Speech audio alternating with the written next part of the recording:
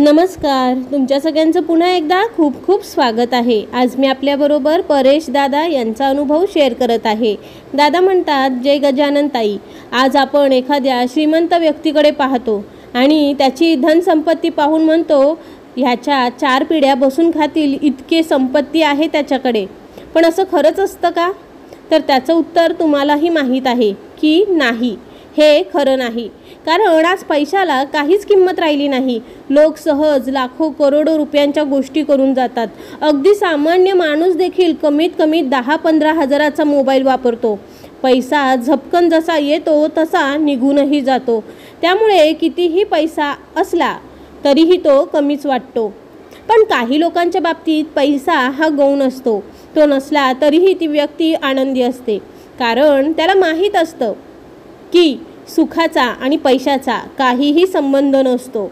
उलट पैशाने मिळवलेलं सुख जास्त काळ टिकत नाही. सुरुवातीला मलाही माझ्या गरिबीची चीड येत असे. कुठलीही गोष्ट आवडली तरी ती घेण्यासाठी खिशात पैसा नाही. खूप चीड यायची. त्यात कुणी मित्राने तीच वस्तू घेऊन दाखवायला आणली की आणखीनच तिळपापड होत. एकदा असंच मलाही वाटलं की माझ्याकडे एक चांगला मोबाईल असावा. पण सगळ्या मोबाईलची किंमत दहा बारा हजारापेक्षा जास्त. ते मला परवडणारे नव्हते. मग त्यातच माझे मित्र एक एक करत भारीतले मोबाईल आणून मला दाखवत होते. मग काय? पुन्हा मला माझ्या दुर्दैवाचा राग येत होता.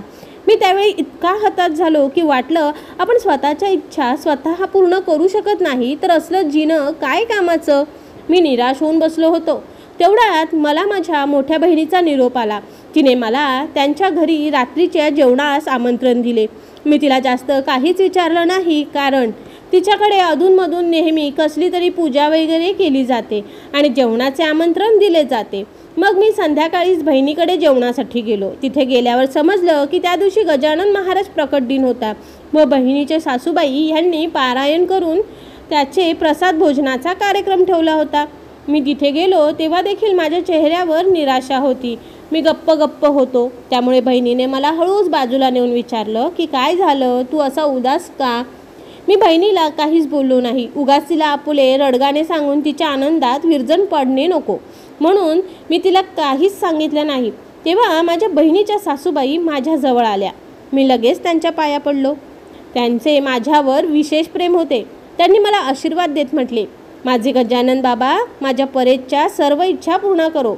त्यावेळी माझ्या मनात हसू आलं की जर आशीर्वादानेच इच्छा पूर्ण झाल्या असत्या तर मी रोज त्यांचे पाय धरले असते. व आशीर्वाद मिळवला असता. त्यामुळे माझ्या इच्छा पूर्ण झाल्या असत्या. मी मनात असा विचार करत होतो तेवढ्यात माझे जिजादी देखील माझ्याजवळ आले व मला हसतच म्हणाले आज परेशची चांदीच चांदी आहे. कारण माईचा म्हणजे बहिणीची सासू ह्यांचा आशीर्वाद कधीही निष्फळ जात नाही. असं सगळ्यांना प्रचिती आली होती. व आज तर साक्षात महाराजांच्या प्रकट दिनास माईंनी मला आशीर्वाद दिला होता. सगळ्यांना तेच वाटत होतं. पण माझा काही त्या गोष्टीवर विश्वास बसेना. मग मी बहिणीकडील जेवण खावण ह्याचा सगळा कार्यक्रम आटोपला व हळूहळू एक एक करत सगळे पाहुणे निघून गेले. त्यानंतर मी जिजाजी यांना आवरावर करण्यास मदत केली. तोपर्यंत रात्रीचे साडेबारा वाजून गेले होते. बहिणीचं घर शहरातील अगदी आउटसाईडला होतं. तिथे अजून फारशी वस्ती नव्हती. त्यामुळे जिजाजी व त्यांच्या घरच्यांनी मला त्यांच्याकडे रात्री मुक्काम करण्यास सांगितला व सकाळी चहा नाश्ता करून जा असा आग्रह केला. पण दुसऱ्या दिवशी सकाळी माझं एक महत्त्वाचं काम होतं. म्हणून मी त्यांना नकार दिला व घरी येण्यास निघालो. तो वर रात्रीचा एक वाजून गेला होता. तिकडे जास्त वस्ती नसल्याने सगळीकडे सामसूम होते. त्या गडद अंधारात एकही चिटपाखरू दिसत नव्हते. ते वातावरण जरा भयवह वाटत होते. पण मी त्याकडे दुर्लक्ष करून माझी सायकल पळवत होतो.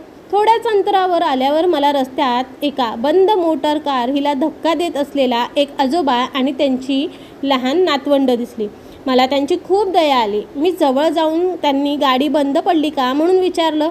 तेव्हा ते म्हणाले की पेट्रोल संपलं आहे त्यामुळे गाडी बंद पडली. ते लोक मला भले वाटले. मी देवावर नेहमी रागवतो की मला असले आयुष्य का दिले? पण एका गोष्टीच्या बाबतीत मात्र मी देवाचे खूप आभार मानतो की त्यांनी मला बलदंड शरीर दिले होते. मी त्या बाबा यांना म्हटलं की पेट्रोल पंप इथून साडेचार किलोमीटर अंतरावर आहे. मग मात्र ते बाबा आणि त्यांच्या गाडीतील कुटुंब अधिकच निराश झालं. मला त्यांची दया आली. मी त्या गाडीला धक्का देणाऱ्या बाबांना म्हटलं तुम्ही गाडीत बसा. मी तुम देतो तुमच्या गाडीला धक्का. तेव्हा प्रथम ते नाही म्हणाले. मग मी त्यांना म्हटलं काका तुम्ही धक्का मारत अख्खी रात्र निघून जाईल. गाडी पेट्रोल पंपपर्यंत पोहोचण्यासाठी. जास्त मनाला लावून घेऊ नका. बसा पटकन गाडीत. मग ते गाडीत बसले आणि मी एकटाच धक्का मारू लागलो. मलाही कळलं नाही की माझ्या मनात अशी अचानक माणुसकी कुठे जागृत झाली. नाहीतर इतक्या रात्री थकलेलो असताना मी माझ्या झोपेचं खोबरं करून का बरं त्या अनोळखी व्यक्तींना मदत करत होतो? मलाच कळेना. पण एक मात्र खरं त्या संकटात सापडलेल्या लोकांची मी मदत करताना मला आतून खूप आनंद होत होता. थोड्या वेळात माझ्या लक्षात आलं मी गाडीला धक्का देत असताना माझे लक्ष खाली पडलेल्या एका पैशांचं पाकिट ह्याकडे गेलं. तेव्हा माझ्या मनात लालसा उत्पन्न झाली. म पण लगेच दुसऱ्या क्षणी कुणीतरी माझ्या कानात येऊन मला म्हटलं की मोह आवर. मी ते पाकिट उचललं व खिशात ठेवलं. त्याच्या गाडीला धक्का देत पेट्रोल पंपपर्यंत नेलं. त्यांनी माझं खूप कौतुक केलं. मग त्यांच्या गाडीत पेट्रोल भरलं. नंतर ते माझा निरोप घेण्यासाठी माझ्याजवळ आले. मी मनाचे द्विधा मनस्थितीत होतो. मला हाच प्रश्न होता की मी खिशातील पाकटाचं काय करू? देऊन टाकू की ठेवून घेऊ? तेव्हा पुन्हा कोणीतरी माझ्या कानात येऊन म्हटलं की बघ दुसऱ्याची संपत्ती फक्त काही क्षण तुझ्याजवळ ठेवून घेतली. तर तुझ्या मनात किती वादळ निर्माण झालं? मग तू अशी संपत्ती स्वतःजवळ कायमची ठेवून घेतली तर ती तुझ्या सुखाची झोप कायम उडवून टाकेल. तेव्हा माझे डोळे खाडकन उघडले. मी तत्काळ खिशातील ते पाकिट काढून त्यांना म्हटलं हे पाकिट मला गाडीला धक्का देताना सापडलं. तेव्हा त्यांना माझं आणखीनच कौतुक वाटलं व त्यांनी मला माझी विचारपूस केली मी काय करतो कुठे राहतो? वगैरे वगैरे. मग त्यांनी माझा नाव पत्ता हे सगळं विचारून घेतलं व माझा निरोप घेतला आणि ते निघून गेले. त्यावेळी अर्धी रात्र निघून गेली होती. मी देखील खूप दमलो होतो. तसाच सायकल चालवत घरी निघालो. मनात आलं की माझे जिजाजी उगाच म्हणत होते की माईचा आशीर्वाद मला मिळाला. आता माझं भाग्य उजळेल. पण झालं उलटंच. माझ्या पदरी कष्टच आलं. ते देखील कुठलेही फळ न मिळता. मग मी पहाटे पहाटे घरी येऊन झोपून गेलो. पुढील दोन दिवस काही कामावर गेलोच नाही. तसंही मला त्या कामाचा कंटाळा आला होता.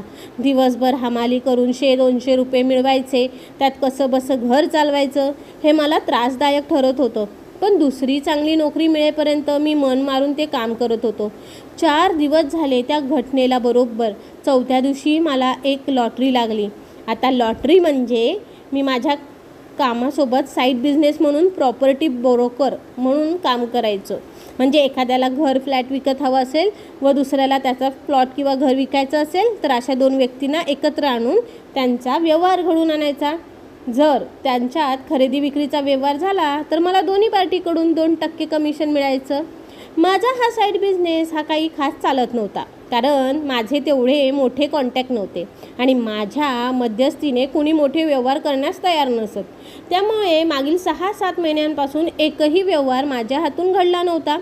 पण अचानक त्या दिवशी संध्याकाळी विशेष म्हणजे तो दिवस गुरुवार होता तर माझ्याकडे मी ज्यांच्या गाडीला रात्री धक्का मारत पेट्रोल पंपपर्यंत नेलं होतं ते गृहस्थ आले. त्यांनी मला सांगितलं की त्यांना त्यांच्या फॅक्टरीचा माल साठवून ठेवण्यासाठी एका गोडाऊनची गरज आहे व त्यांना त्यासाठी जागा खरेदी करायची आहे. जेव्हा ही गोडाऊनच्या जागेचा मुद्दा उद्भवला तेव्हा त्यांना माझा विचार आला. कारण त्या दिवशी रात्री मी त्यांना मी काय काय करतो काय काम करतो ह्याची माहिती दिली होती. व त्यांना माझ्या प्रामाणिकपणावर पूर्ण विश्वास होता म्हणून ते माझ्याकडे ह्या व्यवहाराचं काम देण्यासाठी आले होते. मी तर खूपच खुश झालो कारण आमच्या बिझनेसमध्ये प्रॉपर्टी खरेदी करणारा लवकर तयार होत नाही विकणारा स्वतःच येतो. इथे तर प्रॉपर्टी खरेदी करणारा हाच माझ्याकडे चालून आला होता व मला फक्त त्यांच्या सोयीची जागा शोधून ती जागा विकणाऱ्या व्यक्तीचा शोध घ्यायचा होता. कदाचित. माईंनी दिलेला आशीर्वाद खरे ठरण्याचा तो संकेत होता व शेवटी ते खरं झालं. मी तो व्यवहार अवघ्या दोन दिवसात घडवून आणला. शिवाय तो व्यवहार लाखोंमधला नव्हता तर दीड कोटी रुपयांच्या वरील होता. ह्यावरून तुम्हीच अंदाज करा की मला दोन्ही पार्टीकडून त्या दीड कोटी रुपयांच्या व्यवहारात दोन दोन टक्के म्हणजे चार टक्के कमिशन मिळाले. तर मी एकाच व्यवहारात वर्षभराची कमाई करून टाकली. मग मी त्या पैशातून एक मनपसंत मोबाईल घेतला. खरंच तेव्हापासून मलाही पटलं की महाराज हे रंकालाही एका क्षणात राजा करू शकतात.